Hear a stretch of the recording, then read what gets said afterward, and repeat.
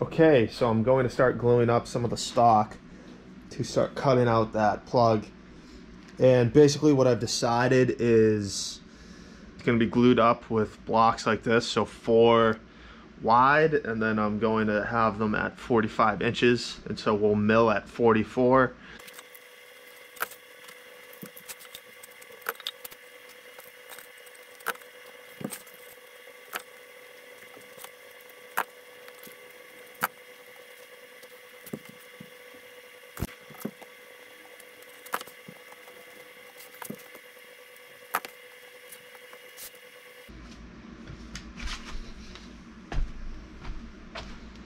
All right, so there's the first block down.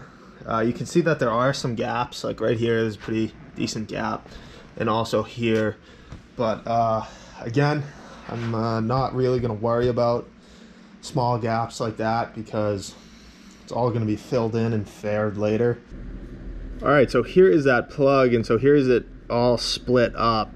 So I'm, I couldn't fit it all into three sections so there is a fourth section way up in the front there.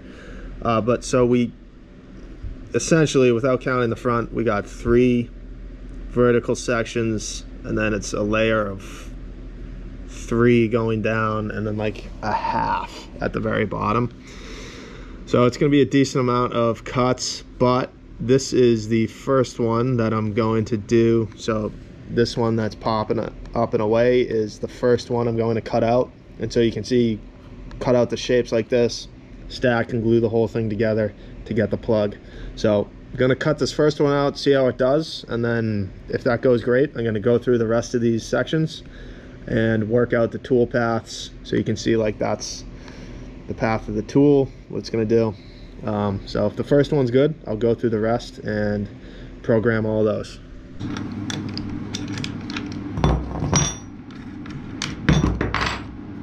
So as far as the tools goes, uh, to be able to make these cuts, I had to make this uh, this cutter here, and so I've used this for a lot of other. I needed it for other things as well. Um, kind of janky, but it it does do exactly what it's supposed to do. So it needed to be half inch to be stiff enough, and this is obviously only okay to use on foam.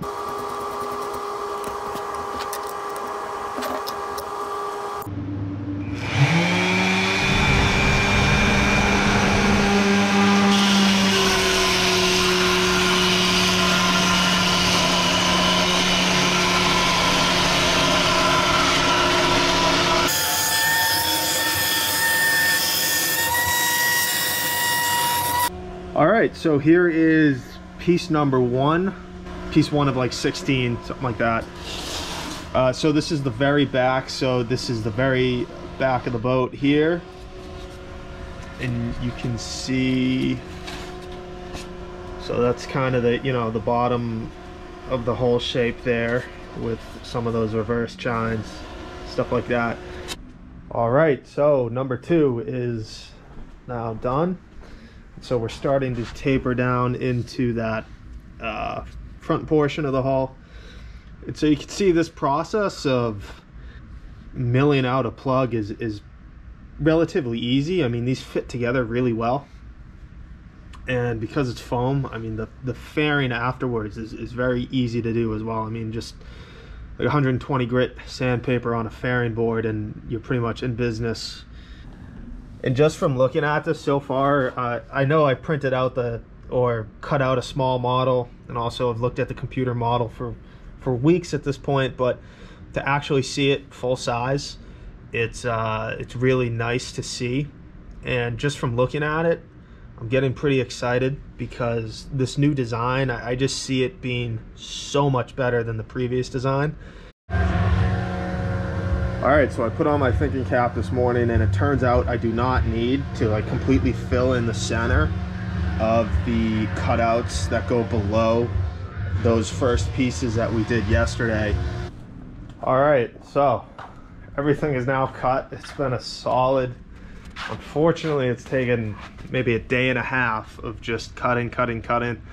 And most of the issues propped up because I was using this glued together foam chunks so occasionally I'd be like at the end of a cut and a chunk would blow out and it would just tear off the uh, tear off the table and then I would have to reglue and recut. So I, unfortunately I had to reglue and recut maybe three of these, three to four of these pieces. So there we go. So we have the plug. We have a flange in here.